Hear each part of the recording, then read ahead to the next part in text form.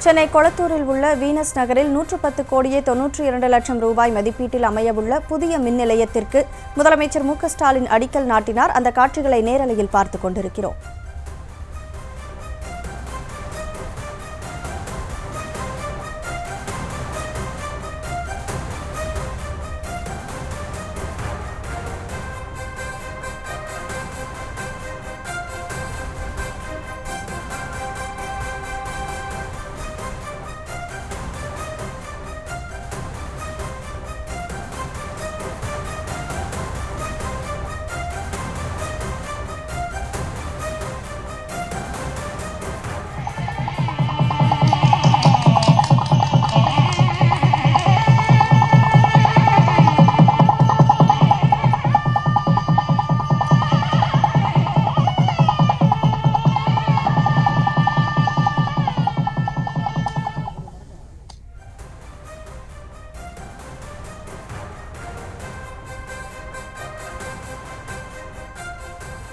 கூடுதல் விவரங்களை வழங்குவதற்காக செய்தியாளர் ராஜேஷ் இணைப்பில் இருக்கிறார்.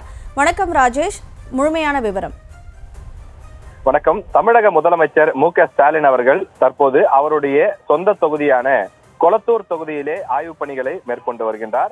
பல்வேறு முடிவுற்ற திட்டங்களையும் தற்போது அவர் திறந்து வைக்கக்கூடிய அந்த நிகழ்ச்சியும் நடைபெறுகிறது. தமிழ்நாடு மின் உற்பத்தி மற்றும் பகிர்மான கழகம் சார்பில் வீனஸ் நகரிலே ரூபாய் நூற்று பத்து கோடி ரூபாய் மதிப்பீட்டிலே இருநூற்று முப்பது கிலோவாட் அஹ், அந்த துணை மின் நிலையம் அமைப்பதற்கான அந்த அடிக்கல் நாட்டு விழாவிலே தமிழக முதலமைச்சர் கலந்து கொண்டு அதனை தொடங்கி வைக்கிறார். இது மட்டும் இல்லாமல் அவர் தொகுதியிலே இன்றைய தினம் பல்வேறு இடங்களில் குடிநீர் குழாய்கள் மாற்றியமைத்தல் புதிய குடிநீர் குழாய்கள் பதிக்கக்கூடிய பணிகள் அதே போல புதிய ஒருங்கிணைந்த குழந்தை வளர்ச்சி மையம் கட்டும் பணி உள்ளிட்ட பல்வேறு விஷயங்கள் வளர்ச்சி திட்டங்களை அவருடைய தொகுதியிலே தொடங்கி வைக்க இருக்கிறார். சுமார் ஒரு மணி நேரம் தொடர்ந்து ஆய்வுப் பணிகளை மேற்கொண்டு புதிய பணிகளையும் தொடங்கி வைக்க இருக்கிறார். சென்னை கொளத்தூரில் உள்ள வீனஸ் நகரில் நூற்று பத்து கோடி ரூபாய் மதிப்பீட்டில் அமையவுள்ள புதிய மின் நிலையத்திற்கு முதலமைச்சர் மு க ஸ்டாலின் தற்போது அடிக்கல் நாட்டினார். அந்த நேரலையை பார்த்தோம். விரிவான விவரங்களை வழங்கினீர்கள். தகவலுக்கு நன்றி ராஜேஷ்.